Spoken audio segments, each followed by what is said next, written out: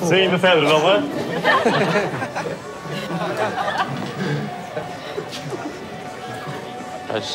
Beklager for at vi er sene. Kalle her måtte fikse på håret før eh, skolestart. Ser bra ut da, Kalle. Han måtte vel Det Har vel to timer cirka.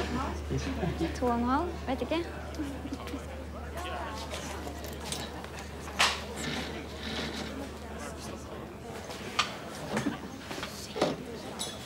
Hei. Kalle. Lena. Hei, Lena. Hyggelig. Lena. Jeg heter Lena med A. Sånn Kom igjen, Lena. Hva da? Det er Håkon uh, Hellstrøm-låt. Ok. Kom igjen, Lena.